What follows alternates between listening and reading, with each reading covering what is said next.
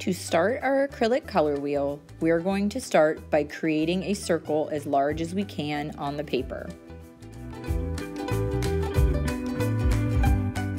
Once we have this circle, we are going to break it into 12 sections. There are 12 different colors on the color wheel. That is why we're breaking it into 12 sections. Each piece should be a 30 degree measurement. This is what I'm measuring using the protractor.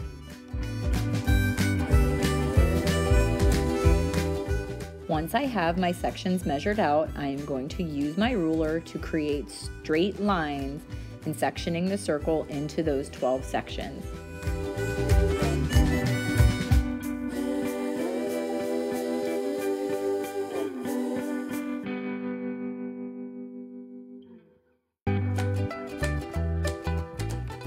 I am then going to label each section.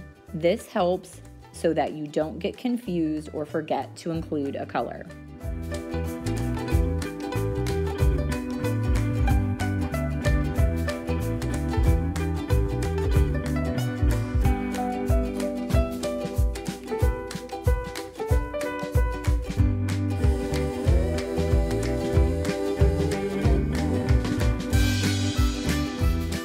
In each section, you're going to be creating a design or pattern for your color wheel.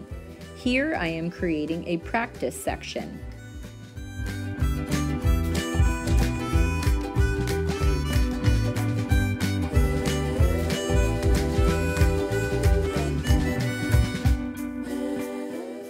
Your practice section can have any type of design you like. You just need to include enough sections so that you can have two tints two shades, and the pure tone of your color. You will be repeating this pattern over the entire color wheel. I am now going to create a practice section. In this practice section, I am thinking about what tones I'm going to have on each piece of your design.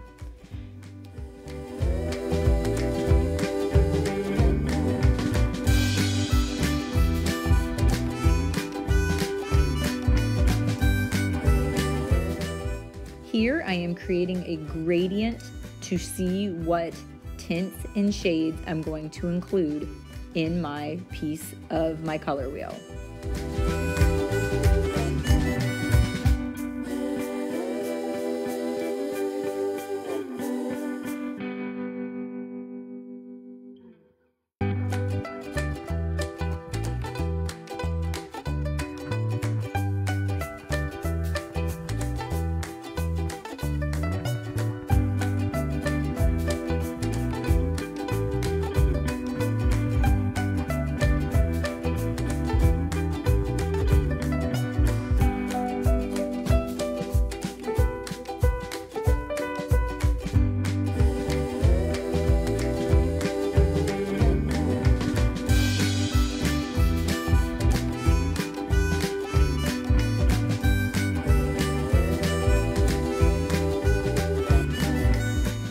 There is no right or wrong where you put each tint or shade.